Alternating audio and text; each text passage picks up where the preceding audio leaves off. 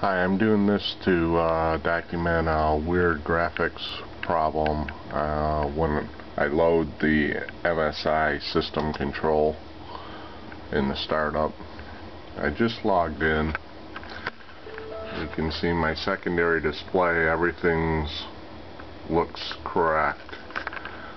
And then all of a sudden this blotch here goes to that gray color and the funny thing is I, have been working with uh, the MS config and this only happens when I load the MSI um, system control.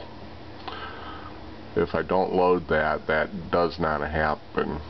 Um, the other thing that's kind of funny you can also see that it only affects the desktop background on the secondary display. If I move you know as I move stuff around on top of it it just shows up okay.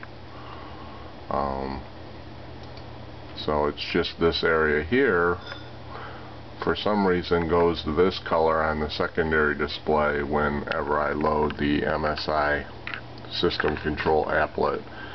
This is a fresh install of Windows 7 and I've downloaded the Windows 7 system control.